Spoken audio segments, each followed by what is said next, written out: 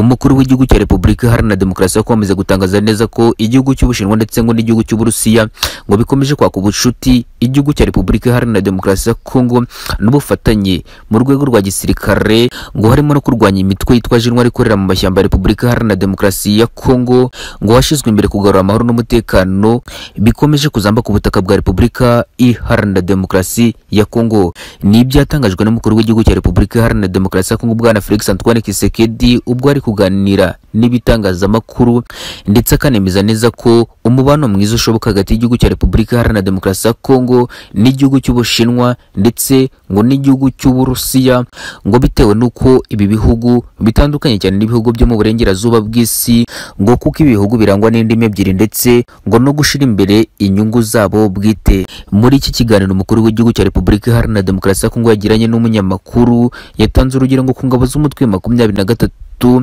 ngo zisanzwe zikoreshwa imbunda zituruka muri leta zunze ubumwe za amerika ngo ariko ngo ku ruhande rw'igihugu cya leta zunze ubumwe za amerika ngo kigatangaza ko gishyigikiye byeruye ubutegetsi bwa repubulika iharanira demokarasi ya kongo ni ibintu umukuru w'igihugu cya repubulika iharanira demokarasi ya kongo yagarutse avuga ko ngo ari ukurya indimi ndetse no gukomeza kwimika uburyarya ngo biranga ibihugu byo mu burengerazuba bw'isi. Iyi ni ingingo ikomeye cyane tugiye kugaruka ku buryo burambuye ndetse tukagaruka no ku yandi makuru akomeje kuvuga umutekano politiki na demokarasi by'umwihariko tukibanda ku bikomeje kuvuga ku butaka bwa repubulika iharanira demokarasi ya kongo niyo mpamvu twongeye kubatumira inshuti z'akadasohoka muze duhure kuri uyu murongo mugari wundi mukande ku ijambo subscribe mukande no kunzogera mujye mukomeza kubana natwe gatanu kuri gatanu tubahaye ikaze. Umukuru w'igihugu cya repubulika iharanira demokarasi ya kongo amaze gutangaza neza ko igihugu cy'ubushinwa ndetse ngo n'igihugu cy'uburusiya ngo ari ibihugu bikomeje guhatiriza ndetse binashaka umubano ukomeye cyane hagati y'ibihugu ndetse ngo n'igihugu cya repubulika iharanira demokarasi ya kongo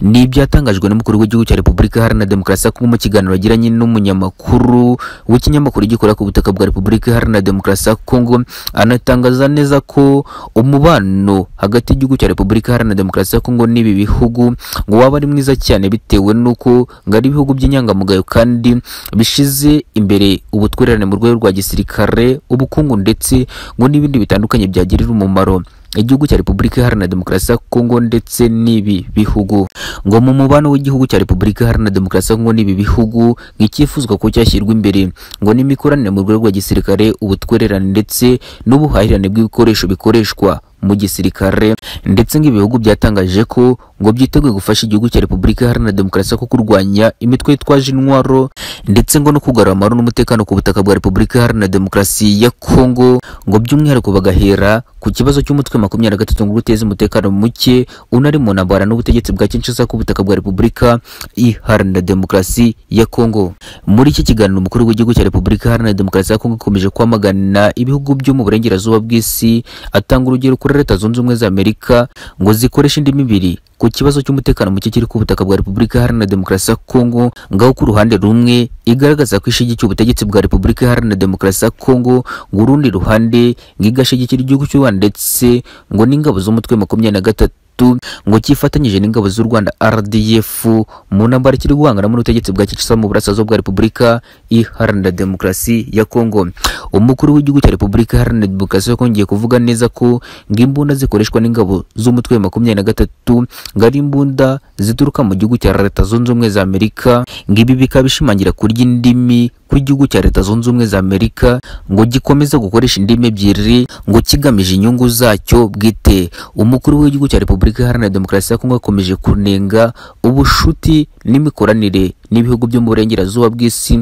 Yemeza neza ko ngo imibanire yaba myiza igihugu cya Repubulika Iharanira Demokarasi ya Kongo ngo ko gikoranye n'igihugu cy'Ubushinwa ndetse ngo n'igihugu cy'Uburusiya byose bikomeje kwegereza ibihugu bya Afurika ndetse kandi ko ngo byo bikoresha ukuri ndetse ngo bigaharanira inyungu ku mpande zombi ngo haba uruhande rw'ibi bihugu ndetse n'ibindi bihugu bifatanya ibikorwa by'ibi bihugu. Byongeye kandi kapiteni ibrahim traore yamaze gutanga ubutumwa bukomeye kinshasa mu murwa mukuru wa repubulika iharanira demokarasi ya kongo ni ubutumwa bugenewe umukuru w'igihugu cya repubulika iharanira demokarasi ya kongo felix kisekedi buvuga ko ngo yifatanyije n'abanyekongomani bose bari mu kababaro ngo batewe n'intambara y'urudaca yibasiriye uburasirazuba bwa repubulika iharanira demokarasi ya kongo ndetse ngo yiteguye gutanga ubufasha bwose perezida wa repubulika iharanira demokarasi ya kongo yamusaba ko atanga mu burasirazuba bwa repubulika iharanira demokarasi ya kongo muri ubu butumwa burebure traore umukuru wa burkina faso yanyujije ku mbuga nkoranyambaga yagarutse ku ngendo umukuru w'igihugu cya repubulika iharanira demokarasi ya kongo akomeje kugera mu bihugu by'ibihangage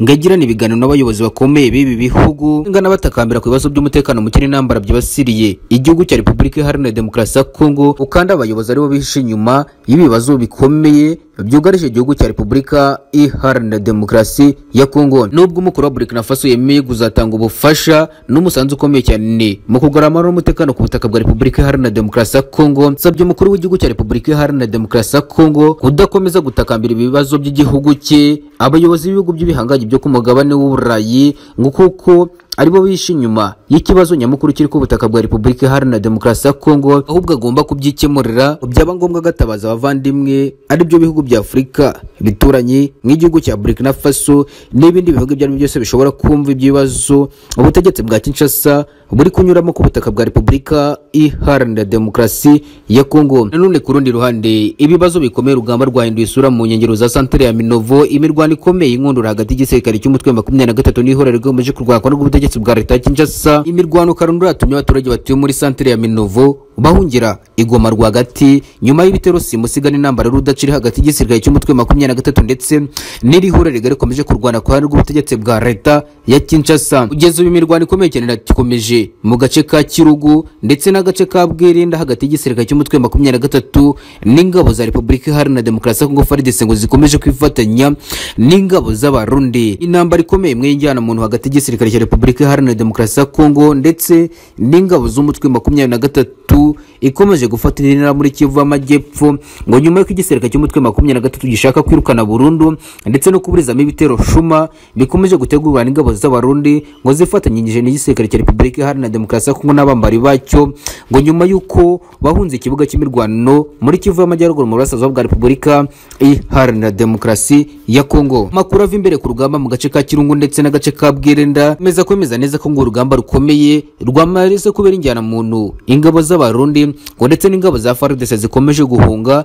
nyuma y'uko benshi bamaze kwicwa nk'ibimonyo n'ibitero simusiga bikomeje kugabwa n'ingabo z'umutwe makumyabiri na gatatu ngo zishaka kwigarurira ibice byinshi byo mu burasirazuba bwa repubulika iharanira demokarasi ya kongo habanje kwirukana burundu iri tsinda rigari rikomeje kurwana ku ruhande rw'ubutegetsi bwa leta ya kinshasa. Operasiyo ndende yamaze gutangazwa n'igisirikare cy'umutwe makumyabiri na gatatu yo kwimurira imirwano muri kivu y'amajyepfo iturutswa muri kivu y'amajyaruguru ngo ni uko ngo ari ugushaka kuburizamo ibitero byo byose bikomeje gutegurwa n'igisirikare cya repubulika iharanira demokarasi ya kongo ndetse n'abambari bacyo. Bahungiye muri kivu y'amajyepfo ngo bakomeje kwimika y'urugomo ndetse ngo no gutegura ibitero bikomeje guhungabanya umutekano w'abaturage batuye ku butaka bwa repubulika iharanira demokarasi ya kongo kugeza ubu amakuru aturuka ku kibuga cy'imirwano muri kivu y'amajyepfo nabo bakomeza kwemeza neza ko ingabo z'umutwe wa makumyabiri na gatatu zimaze kwigarura uduce dutatu muri kivu y'amajyepfo two muri teretwari ya karehe. Ni uduce dukomeye cyane tuzwi nka ruzikata kavumu ndetse n'agace ka ndwangara twose tubarizwa muri teretwari ya karehe. Nanone ku rundi ruhande umutwe wa FNL wamaze guca ibintu mu gihugu cy'u Burundi aho watangiye operasiyo zikomeye cyane zo kurwanya ishyaka CNDD ndetse ubutegetsi bwa Gitega ngo rigamije gukuraho burundu iri shaka riri ku butegetsi ndetse n'ubutegetsi buyoboye igihugu cy'u Burundi. Nyuma y'uko uyu mutwe utangaje neza ko ugiye guhirika burundu unakura ubutegetsi bwa perezida Evariste Ndayishimiye uyu mutwe washinjwijwe ibirego bikomeye ririmo gutera grenade mu bice bitandukanye. I Bujumbura mu murwa mukuru w'igihugu cy'u Burundi ngo bigamije guteza umutekano muke ndetse byanahitanye bamwe mu baturage batuye mu bice bitandukanye. Nyuma y'uko umutwe wa Red Tabara ushinjwa kugaba ibitero karundura ku butaka bw'igihugu cy'u Burundi ndetse bigatangazwa ko ngikizwi nk'imbonerakure n'ubutegetsi bwa Gitega ngo bwamaze kwirukana burundu ngo uyu mutwe wa Red Tabara uri kugaba ibitero ku butaka bw'igihugu cy'u Burundi umutwe wa FNL ni bwo wahise ugaragaza neza ko ngo wo ngo ugiye gukaza umurego gukora ubutegetsi bwa Gitega ndetse no kurwanira ubwoko bumwe bw'abarundi ngo bakomeje guhungabanwa na leta ya Gitega. Ni ibibazo bikomeye cyane byongeye kubera agatereranzamba guverinoma y'igihugu cy'u Burundi iyobowe na na perezida evariste ndayishimiye wanamaze kugezwa mu nkiko n'umuryango ushinzwe uburenganzira bw'ikiremwamuntu ku gihugu cy'u burundi uzwi nka regiteka utangije ikirego simusiga kirega leta gitega n'ishaka cndd ngo kwivugana benshi mu batavuga rumwe n'ubutegetsi ngaho abagera kuri magana atanu bishwe n'iyi leta iyoboye igihugu cy'u burundi. Ni ikirego gikomeye cyane cyamaze kugezwa mu nkiko mpuzamahanga aho igihugu cy'u burundi cyasabwe iperereza ryimitse ry'icyisha aba bantu bazirenga magana atanu bamaze gupfira ku butaka bw'igihugu cy'u burundi si ibyo gusa ariko nanone ku rundi ruhande. Muri side kivongeye kugaragara undi mutwe ugiye gufatanya n'ubutegetsi bwa kinshasa guhangana n'ingabo z'umutwe wa makumyabiri na gatatu mu ntambara zirimo mu burasirazuba bwa repubulika iharanira demokarasi ya kongo ni umutwe washingiye mu misozi miremire ya yuvira ugahabwa izina rya mayimayi. Marayika akaba ari umutwe mushya wamaze kwihuza n'ubutegetsi bwa leta ya kinshasa ndetse ukanatangaza ko ugiye gufatanya n'igisirikare cya repubulika iharanira demokarasi kongo n'abambari bacyo ngo mu ntambara bahanganye muri ngabo z'umutwe makumyabiri na gatatu mu burasirazuba bwa repubulika iharanira demokarasi ya kongo ni mu gihe amakuru ava ku kibuga cy'imirwano ku butaka bwa repubulika iharanira demokarasi ya kongo yemeza neza ko izindi ngabo z'u burundi zisaga magana atatu mirongo irindwi zamaze kuva mu gihugu cy'u burundi zikinjira muri kongo ngo mu kwitegura imirwano ndetse no kujya kuziba icyuho cya zimwe mu ngabo z'abarundi zamaze guhunga ikibuga cy'imirwano ku butaka bwa repubulika iharanira demokarasi ya kongo